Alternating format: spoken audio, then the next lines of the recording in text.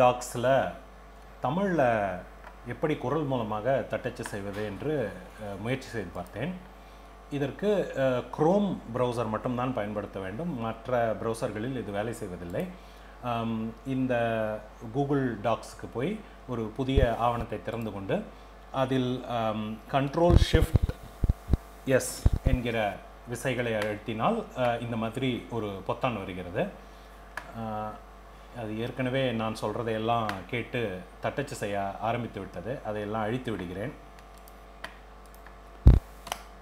இந்த பொத்தானில் இங்கே இதை கிளிக் செய்தால் எல்லா மொழிகளும் வருகின்றன. நாம் எந்த மொழியில் தட்டச்சு செய்ய வேண்டுமோ அந்த மொழியை தேர்ந்தெடுக்கலாம். தமிழ் இந்தியா என்ற மொழியை தேர்ந்தெடுக்கிறேன். இப்போது இதை கிளிக் செய்து ஏதாவது பேச முயற்சி செய்கிறேன்.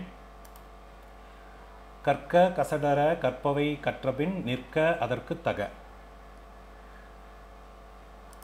இது சரியாகவே தட்டச்சு செய்திருக்கிறது. ஆனால் எல்லாமே இந்த அளவுக்கு வருமா என்று தெரியவில்லை. அங்கங்கே பிழைகள் உள்ளன. குறிப்பாக சந்தி பிழைகள் உள்ளன. சந்தி பிழைகளை சரி செய்வதற்கு ஒரு வழி கண்டுபிடித்தேன். எடுத்துக்காட்டாக இப்போது பாருங்கள். அந்த பையன். இப்போ நான் அந்த பையன் இந்த பேனா எந்த கோயில் இப்படி சொல்லும்போதே பார்த்தீர்கள் என்றால் அங்கங்கே அந்த இப் என்ற எழுத்தை அழுத்தி பேசும்போது சில நேரங்களில் அதை பிடித்துக் கொள்கிறது சில நேரங்களில் இதை பிடிக்கவில்லை. எந்த கோயில் என்பது சரியாக வரவில்லை. இன்னொரு முறை முயற்சி செய்கிறேன். எந்த கோயில்? இப்போது சரியாக பதிவு செய்துவிட்டது. அதாவது ஆம், சந்திப்பிழையை தட்டச்சு கருவி திருத்தப் போவதில்லை.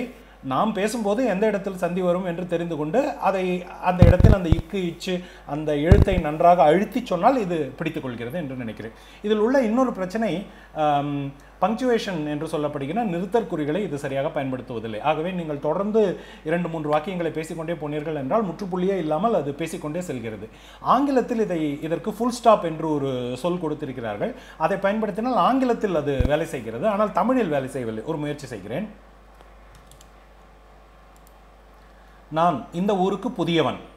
ஃபுல் ஸ்டாப்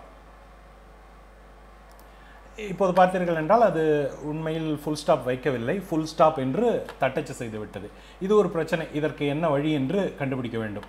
முற்றுப்புள்ளி என்று சொல்லி பார்க்கலாம். நீங்கள் இந்த ஊருக்கு புதியவர். முற்றுப்புள்ளி. கமா. எதுவுமே வேலை செய்யவில்லை.